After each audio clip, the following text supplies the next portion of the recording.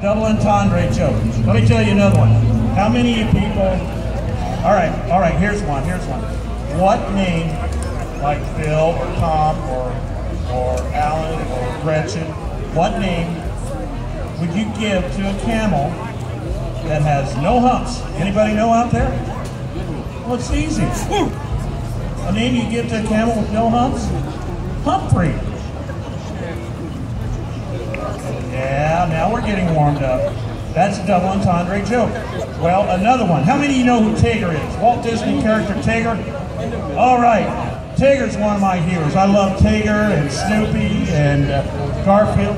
See, I know I like Garfield. I like him. I, I like these. Garfield's But not Tigger's Disney, one of my he? cartoon heroes. But do you know what? Tigger, Disney found out that Tigger, he has this problem.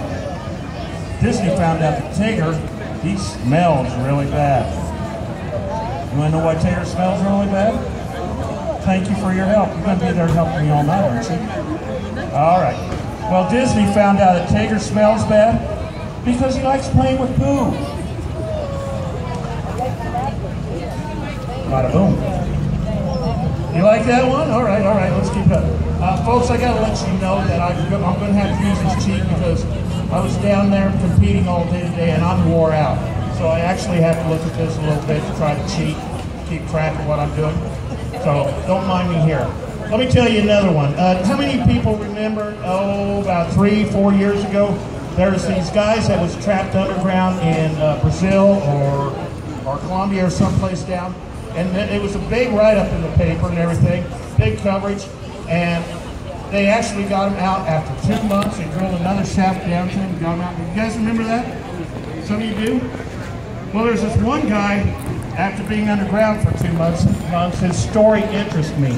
It wasn't a guy This who had a so wife terrible, I had and a a video girlfriend waiting for him. I think if I was me, if I was Oh, him, it's- I'd it's stay true. around for a little while longer. Ridiculous. I'd like to meet that. But there's this one guy that was underground, and when they pulled him out, they said, this guy says, "Hey, I feel fine."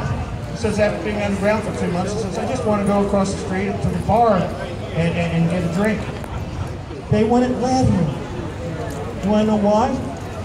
Because you see that bar, it doesn't serve minors. Another bada boom. It, they're all like All right, that. on. I, I told you, man. drink every once in a while. One more double. He. His name is Bill. He said he started out with this one. uh, if he ate too many beans, You see, there's this gas midget, this uh, this little person, and he was a, uh, a, a psychic or a, a crystal ball reader, palm reader, uh, tarot reader. He was a medium. He was a medium. But this guy was a little bit underhanded, you see. And the cops came and arrested him, took him to jail. But uh, because of his small stature, Small, medium, or large. he was able to escape, escape jail, and he's on the lam. Yep. And the cops were looking for him everywhere Cops were looking for him. find him. Well, the next day, because this uh, little guy was on the lam and the cops were looking for him, they um, uh, let the newspapers and the TV show stations know about it. Well, the newspaper uh, the next morning and his, its headlines, they had small, medium, at large. Yeah. Well, at least. You like it. I had to move because I was standing right next to the lady. Uh, I, I guess this is his wife, maybe. And I got the looks. I was like, oh, I'm gonna get out of here.